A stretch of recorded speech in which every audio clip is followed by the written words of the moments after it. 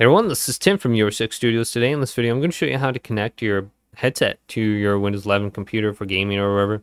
So we want to go on over to settings under the start menu and go to settings here and then go to Bluetooth on the side menu and then go the right. So your headset might be connected. So I'm just going to remove the device real quick and Bluetooth is disconnected. And then I want to go to add device right here, uh, audio device for Bluetooth. And now I want to put it into the Bluetooth pairing mode. So for my headset, I have a specific Bluetooth button. So make sure your headset is turned on.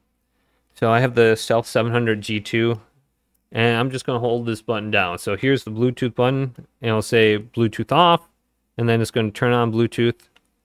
And now something just popped up on my screen.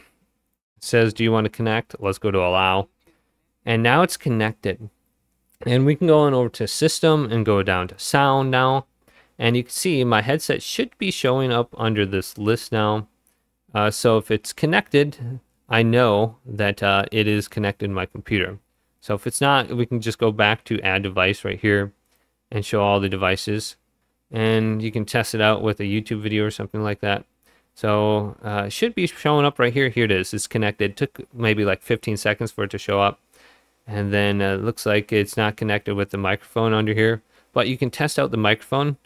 If you go to start test right here you can just talk a little bit and then stop it and then go to play. And you can see if the microphone is working uh, yes or no. It looks like it's working. I heard myself speak. So just go through that process. And hopefully this video did indeed help you out if it did leave it a big thumbs up and subscribe my channel down below